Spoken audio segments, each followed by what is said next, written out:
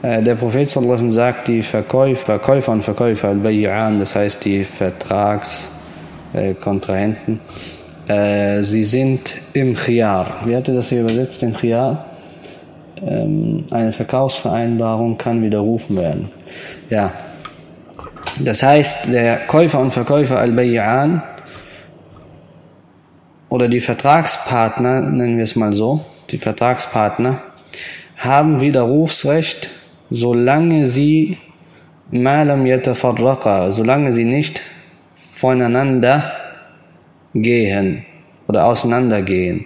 Das heißt, solange sie in der Verkaufs- oder in der Vertragssitzung sind. Solange sie beide dort sind, sich nicht abgewandt haben voneinander, sich nicht abgewandt haben von dem, äh, von der, vom Thema der Sitzung oder vom, äh, ja, von dem, äh, von dem Handel oder von dem Vertrag, haben sie das Widerrufsrecht. Das nennt man Khiyarul Majlis. Und das ist bei sämtlichen Madahib tatsächlich Fakt und besteht dieses Anrecht, außer bei den Malikiyah. Al-Imam Malik äh, kennt sowas wie den Khiyar al-Majlis nicht. Und er kennt aber den Hadith. Also es ist nicht so, dass er den Hadith nicht kennt. Er überliefert ihn auch in der Muwatta. Äh, diesen Hadith überliefert Al-Imam Malik in der Muwatta, in seinem eigenen Hadithbuch. Aber er ist nicht der Auffassung, also er, er hat für diesen Hadith eine andere Interpretation, beziehungsweise ähm, er sieht, dass dieser Hadith in Konflikt steht mit etwas anderem. Weswegen er äh, den Khiyarul Majlis, so wie ich ihn gerade dargestellt habe, äh, nicht, yani, nicht anwendet. Es wird äh, erwähnt, dass Imam Malik von jemandem gefragt wurde. Jemand hat ihn gefragt, du erwähnst diesen Hadith in deinem Buch, aber du richtest dich nicht nach ihm. Und dann sagte er, absichtlich habe ich ihn erwähnt, damit deinesgleichen nicht denken, ich würde ihn nicht kennen. Das heißt, einen Hadith, also die, nicht, nicht nach der vordergründigen Bedeutung eines Hadiths zu gehen, heißt nicht, dass man ihn nicht kennt, sondern es, es kann sein, dass es eine Konfliktsituation gibt, und äh, ihm ein anderer, ein anderes, ähm, eine andere Quelle, einer anderen Quelle Vorrang gegeben wird.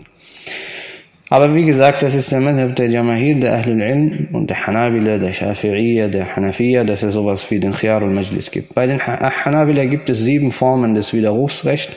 Eins davon ist das Khiyarul Majlis. Das heißt, ich verkaufe jetzt einer Person etwas, wir treffen uns irgendwo in seinem Geschäft oder bei ihm zu Hause oder auf der Straße und ähm, wir tauschen die Ware aus. Ich händige ihm die Ware aus und nehme von ihm bei einem Tauschgeschäft. Und dann, äh, also das ist sozusagen formell gesehen abgeschlossen. Aber dann bereue ich und bedauere ich diesen Handel und denke, dass ich es eigentlich gar nicht benötige oder dass für mich nicht vorteilhaft ist.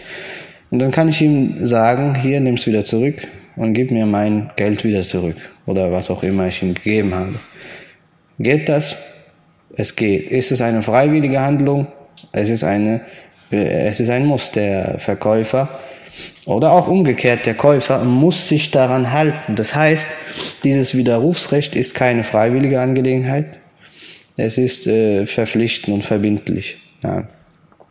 Wenn sie sich dann voneinander trennen, das heißt, sie gehen äh, auseinander oder ich verlasse den Laden, seine Wohnung und komme dann wieder rein, in diesem Fall ist es nicht mehr verbindlich für ihn. Ja.